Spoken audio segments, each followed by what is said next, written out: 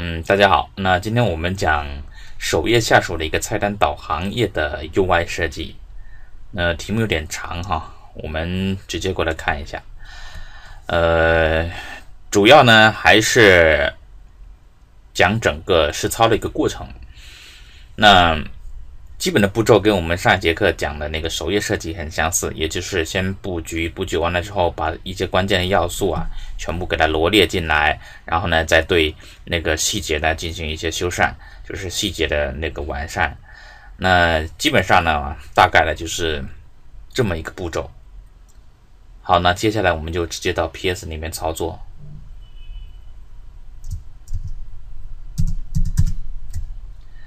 那为了效率稍微高一点呢，我已经把这个呃导呃状态栏这这边的一些要素啊，先给它拽进来了，这样可以节约大家一点时间。好，那那在做之前呢，哈，我们也还是同样要先看一下啊这个原型页面啊，我已经把它弄成图片呃放到这边来了。好，这就是我们的原型图。呃，其实这个这个界面呢，哈。嗯，其实这是一个交互的一个中间的界面呢，就是我们在点首页这个菜单呢，呃，右键的时候，那我们先把这个我们的最终的一个成品的样子呢，先拿出来给大家看一下，这样会比较心里有数一些，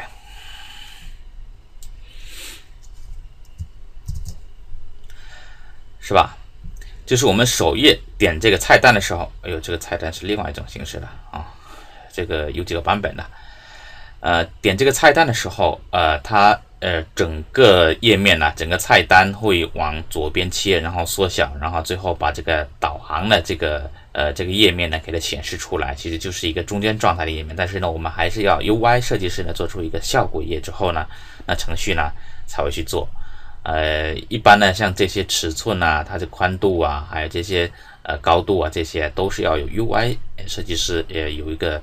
呃，非常精确的一个效果给他们，他们才有办法去做的。好，那我们就呃继续呢，来从头到尾的讲一下这个页面是怎么做的啊。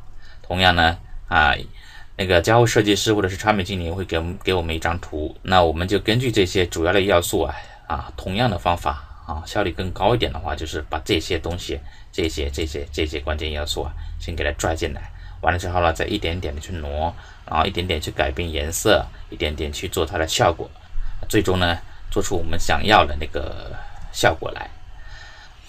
好，那我们来看一下这张那个原型图啊，呃，基本上呢，呃，还是要跟上节课一样的，同样把我们整整个这个界面呢分为几个部分，先给它布局布局好啊。那这个界面跟上节课那个首页有些不一样的地方啊，它那个内容没那么多。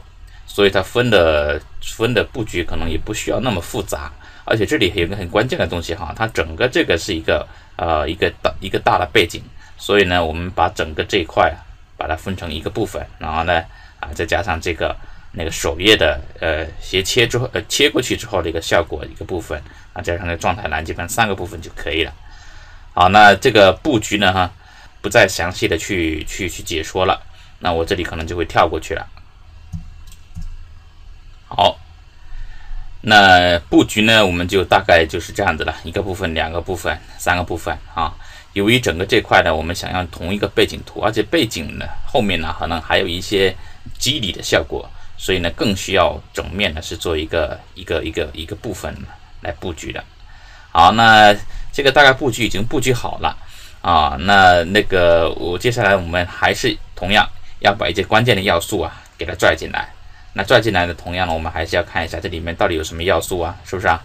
好，一个打叉的啊，一个打叉，一个关闭按钮，好，还有一个那个用户头像啊，用户名，好，现在呢啊，还有一个图标，好，菜单，好，信息，行，那关键的这些东西其实很多都是需要去画的，那我现在就是已经呃，已经有把这些那个。图标的效果已经做好了，所以呢，我就直接把它拽进来。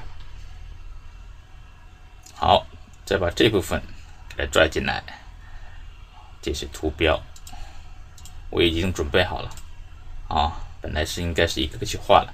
但后面呢，我们也会讲啊，一个个是怎么样去画出来的啊，这个应应该是一个基本功了，还是都要掌握的。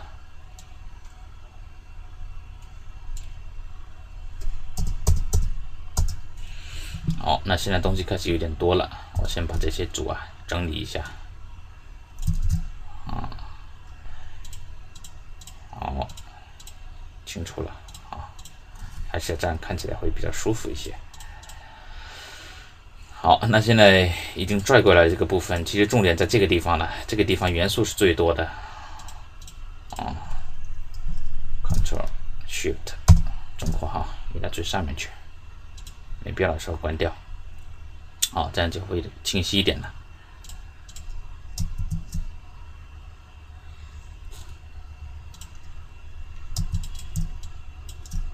看一下啊，搜索、阅读、收藏、设置、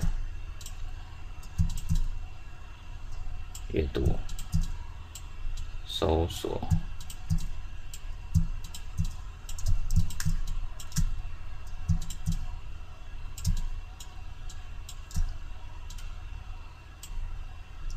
设置，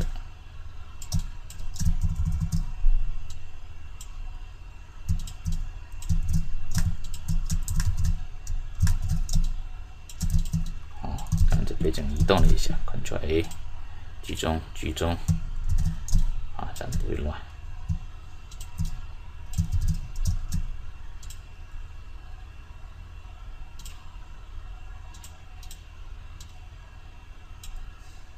设置。最好是命名清楚了啊，所以呢，刚才就有点乱了，就是因为没有命清楚。搜索，啊，保存一下，Ctrl 零，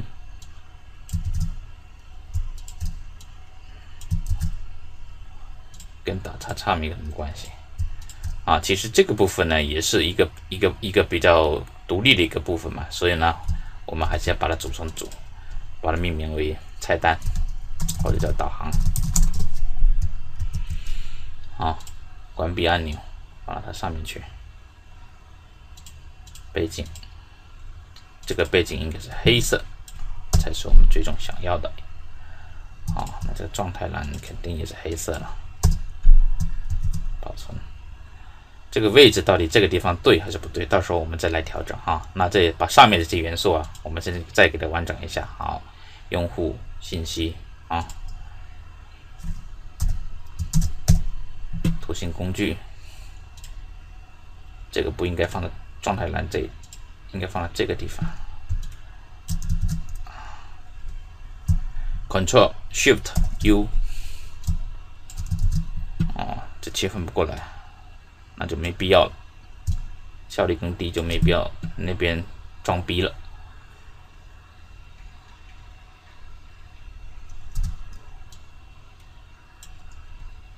还有一条线，一个像素的线，我们最好是用那个用矩阵工具来。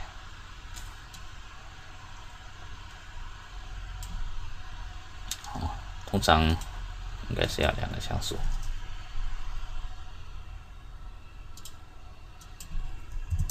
高度用两个像素啊。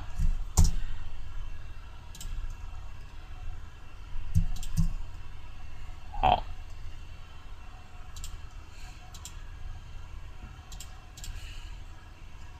这个大小啊，得稍微大一点点啊，哦，太大了。上移一点点，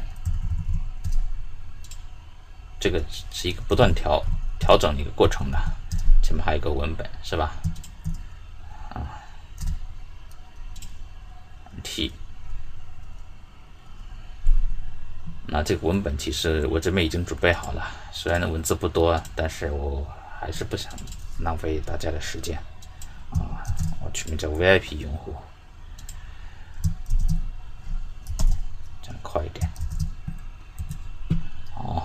也设置三十个像素那个看不到。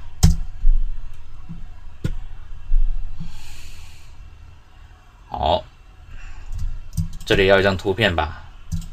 算了先把它拽进来感觉画面更完整。啊画面更完整看起来会更更有感觉一些有成就感一点。啊那这个我也准备好了一张头像。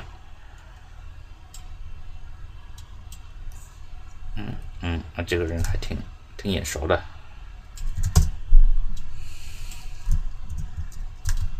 Ctrl Alt，好，剪去蒙版，Ctrl Alt G，放进去。嗯，这里应该有个边线嘛，哈，那我们把它调出来。哎，这些颜色哈，到时候再去凭感觉去调。这个很显然是太亮了，如果在黑色背景下面的话。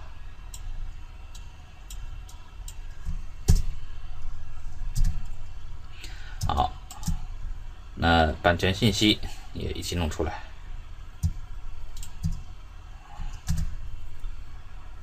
这个我也准备好了。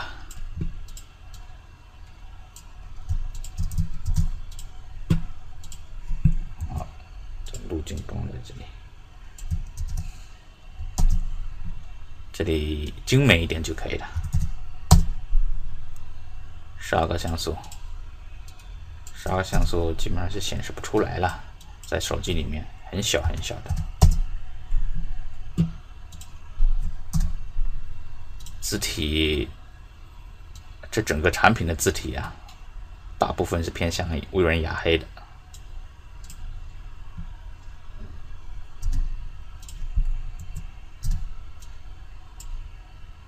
好。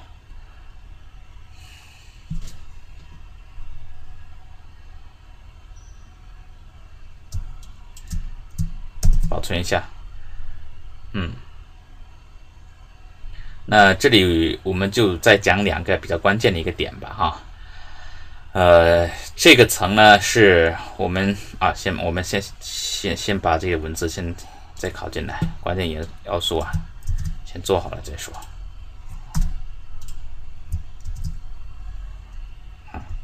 其实有些人他喜欢把它做成一个图层一个图层的。呃，但是呢，我个人更倾向于说，它做一个文本，然后再去调调它的行距，其实一样也是很标准的。好，那关键要素都出来了，这个位置可能还可以再往下一点点吧，是吧？是不是都出来了？再对一下。